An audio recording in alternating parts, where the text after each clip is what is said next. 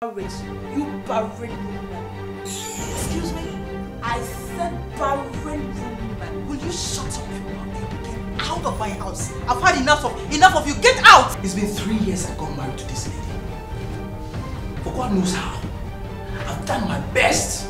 You've done your best and I go. I hate that Samson. I'm even surprised. She just had a minor injury.